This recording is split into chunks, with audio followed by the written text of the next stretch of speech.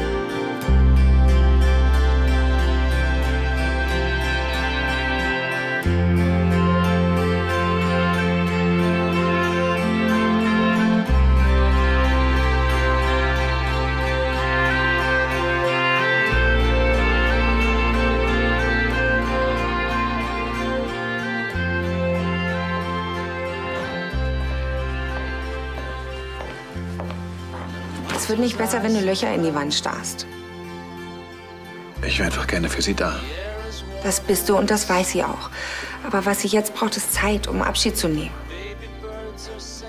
Vielleicht ist es am besten, wenn du nach Hause fährst. Und morgen hat Luise sich bestimmt schon ein bisschen gesammelt und ist froh, wenn du bei ihr bist. Mag sein. Kommst du mit? Ich habe noch zu tun. Wir sehen uns später.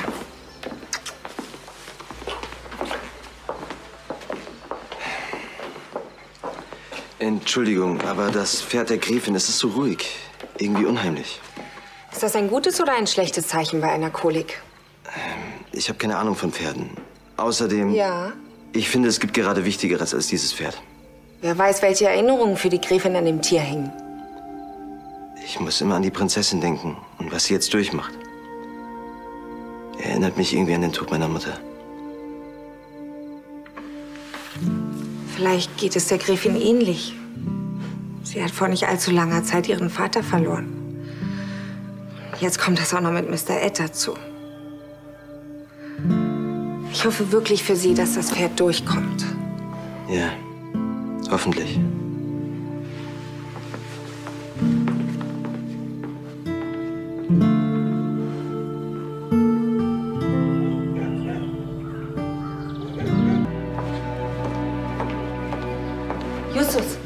Sie Gräfin Carla gesehen?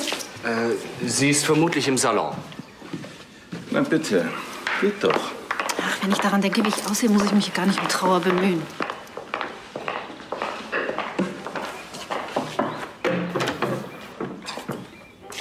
Hier sind Sie.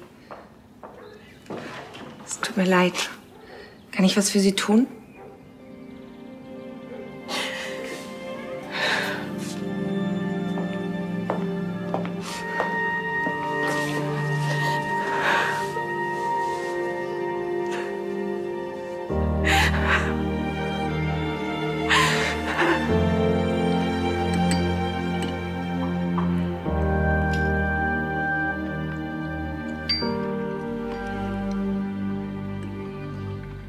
In der Küche glauben die wohl, in der Trauerzeit darf man an gar nichts Freude haben. Das Rührei ist grauenvoll. Tanja. Wirklich, da kann einem der Appetit vergehen. Sagen Sie, ist in der Küche das Salz ausgegangen? Guten Morgen. Nun, wo alle da sind, möchte ich etwas sagen. Wie immer, wenn man einen vertrauten Menschen verliert, bleibt eine Lücke zurück. Eine große, schmerzhafte Leere. Es ist, als hätte man der ganzen Welt die Farben genommen. Alles geht weiter wie bisher, aber es ist blasser geworden. Man verliert einen Teil seines Herzens. Der Tod eines geliebten Menschen gehört zu den schlimmsten Prüfungen. Eine Prüfung, die man gemeinsam überstehen muss. Mit Menschen, die man liebt. Wenn wir gemeinsam an den Erinnerungen festhalten, gelingt es leichter, den Verlust zu überwinden.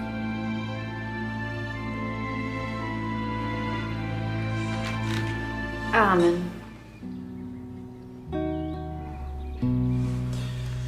Lazy. Ähm,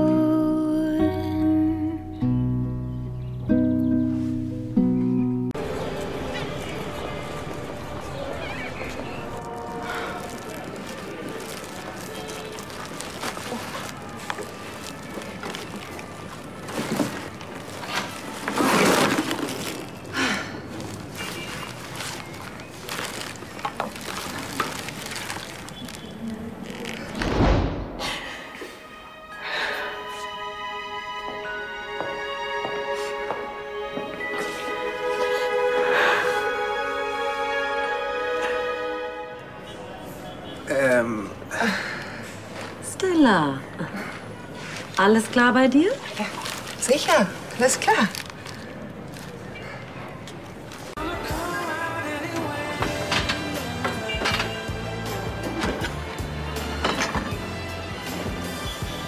Ich bin eine schlechte Gastgeberin. Ich habe dir noch nicht mal was zu trinken angeboten.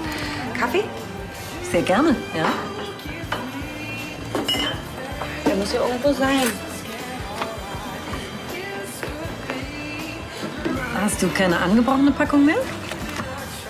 Von was? Kaffee. Kaffee. Ach ja, Kaffee. Wichtig. Sag mal, was ist eigentlich los mit dir? Was soll denn los sein? Komm. Wir sind doch jetzt Freunde, Stella. Wenn dich irgendwas bedrückt, dann kannst du auf mich zählen. Also? Na gut, dann eben nicht. Charlie, warte bitte.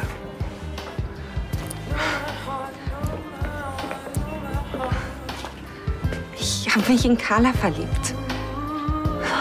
Ich habe mich tatsächlich in Carla verliebt. Oh Mann, wie konnte ich nur so blind sein und nicht bemerken, wie super Carla ist. Sie hat Stil, sie ist sensibel, klug und schön und ach, mach dich nicht lustig. Das würde ich niemals tun. Ich freue mich doch, dass du endlich begriffen hast, dass du dir diesen kleinen romantischen Schlenker über mich hättest schenken können. Hm? Hör mal, das hatte seine Gründe. Das hoffe ich doch. Und was Carla angeht, ich war immer davon überzeugt, dass ihr das perfekte Paar seid. Nur da wollte jemand nicht auf mich hören. Ist das ein Wunder? Ich meine, bei den ganzen Missverständnissen zwischen ihr und mir. Ich glaube, sie war mindestens hundertmal kurz davor, mich zu feuern. Das liegt ja jetzt glücklicherweise hinter euch. Schon. Aber ich habe auch erstmal überhaupt nicht mitbekommen, dass, Dass sie sich in dich verliebt hat. Und als ich es endlich mitbekommen habe, musste ich ihr natürlich sofort sagen, dass ich ihre Gefühle nicht erwidere. Naja, das hat sich ja jetzt geändert. Carla wird überglücklich sein, wenn du ihr sagst, was du für sie empfindest. Nein, das geht nicht. Warum denn nicht? Naja, wie sieht das denn aus? Ja, manchmal dauert es eben eine Weile, bis man weiß, was man fühlt. Das kennt Carla auch. Darum geht es nicht. Aber vor ein paar Wochen habe ich ihr noch die Ohren voll geheult, weil du dich von mir getrennt hast. Ja, und? Ja, Carla muss doch denken, dass ich sie nur als Lückenbüßer benutze. Ach, Unsinn, das glaube ich nicht. Trotzdem, es ist echt der falsche Zeitpunkt. Was steht denn sonst noch an? Ja, das muss auch verschoben werden. Ja. Ich melde mich, sobald ich absehen kann, wann ich wieder ins Büro komme. Natürlich bin ich erreichbar, aber nur in Notfällen. Danke. Verzeihung. Der Tierarzt ist eingetroffen. Gott sei Dank. Ähm, ja, ich bin auf dem Gestüt. Können Sie das bitte, Stella, ich meine Frau Mann, ausrichten? Sehr wohl. Danke. Äh, warten Sie. Ich mache das selber. Ich weiß, du meinst es gut, aber... Und nicht nur das, ich habe auch recht. Sprich mit Carla. Hm? Das ist sie. Das ist Gedankenübertragung. Nee, was ist los? Nimm ab. Ich kann nicht. Stella, jetzt sei nicht so kindisch. Ja, bitte? Hallo Frau Mann, hier ist Carla von Lahnstein. Was kann ich für Sie tun? Es, äh, es geht um Mr. Ed. Es geht ihm wieder schlechter. Der, der Tierarzt ist noch mal da. Ich weiß, es klingt jetzt vielleicht ein bisschen blöd, aber wäre es möglich, dass Sie aufs Gestüt kommen? Also, ich weiß nicht ganz, wie ich Ihnen da behilflich sein kann. Es wäre einfach schön, wenn Sie...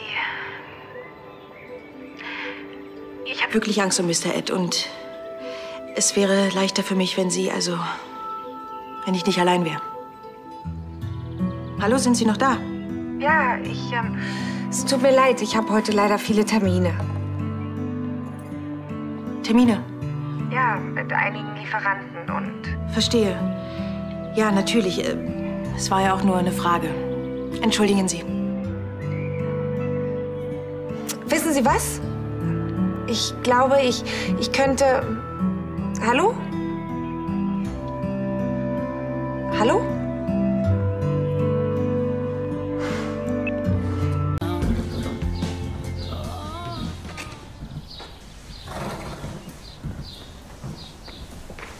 Gräfin Lahnstein. Mit Ihnen hätte ich überhaupt nicht mehr gerechnet. Hallo. Entschuldigen Sie, dass ich vorhin erst einmal abgesagt habe, aber ich war einfach. Ich hätte gleich kommen sollen. Nein. Es war ein bisschen unverschämt von mir, dass ich Sie einfach herbeordern wollte. Nein, gar nicht. Vielleicht sollte ich. Nein. Am besten fange ich noch mal an.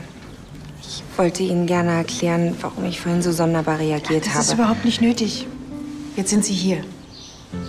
Nur das ist wichtig.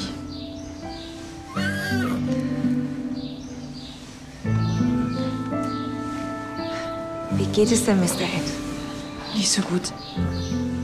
Ich dachte gestern, er hätte die Kolik überstanden. Das dachte ich auch, aber über Nacht hat sich sein Zustand wieder verschlechtert. Aber die Tierärztin kümmert sich doch um ihn. Wenn es schlimmer wird, dann, dann muss er in die Klinik und wir kommen um eine OP nicht herum. Das heißt aber noch lange nicht, dass er es übersteht. Ich bin mir ganz sicher, dass er das wird. Sehen Sie das nicht allzu schwarz. Das Warten ist immer das Schlimmste. Danke. Es ist schön, dass Sie hier sind.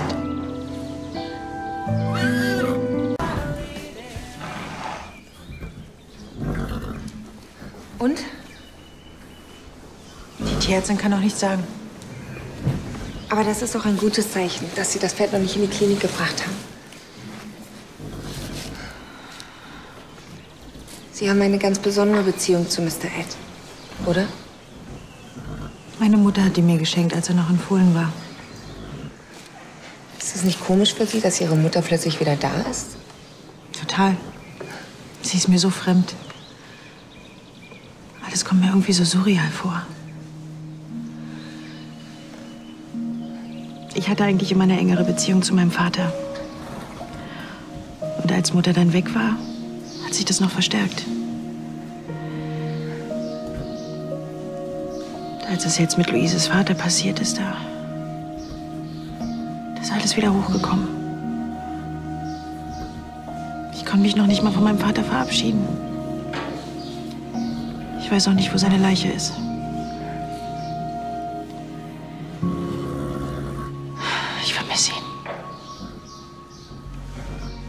Mr. Ed, der erinnert mich immer daran, wie es früher war. Da war alles so unbeschwert und leicht. Wir waren eine ganz normale, glückliche Familie.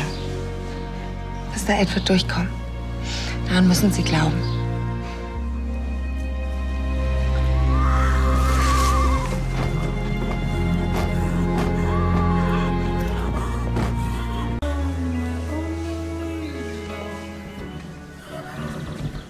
Was ist, wird er durchkommen? Er hat noch mal richtig Glück gehabt. Gott sei Dank. Ich schaue morgen noch mal nach ihm. Ja, vielen Dank.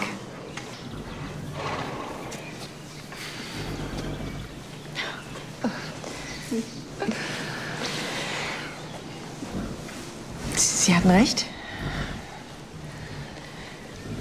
Das Hab ich doch immer. Oder? Sie meinen, ich sollte mich dran gewöhnen? Ja. Warum nicht? Aber Mr. Ed ist erstmal wichtiger. Sie haben schon wieder recht. Obwohl nicht ganz.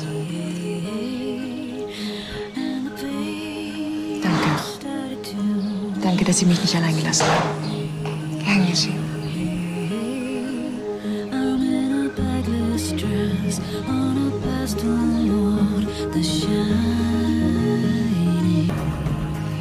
Alles in Ordnung? Ihm geht schon wieder viel besser. Das sieht man. Wenn Sie wollen, können Sie ruhig gehen. Nein, gar nicht. Ich meine ja nie. Sie waren jetzt lange genug hier und haben mir Händchen gehalten.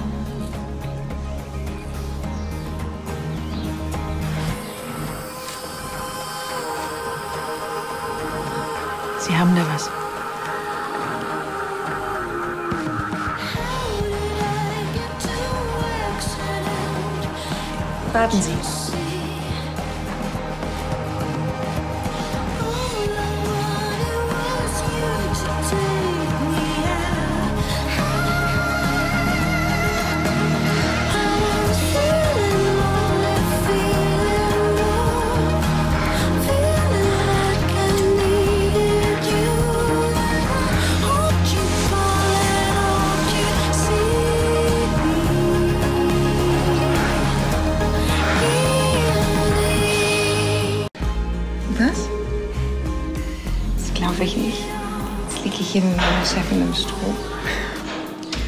haben ganz klar Ihre Kompetenzen überschritten, Frau Mann.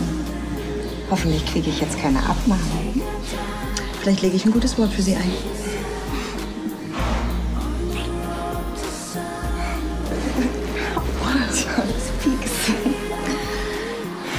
Sollten wir nicht langsam los?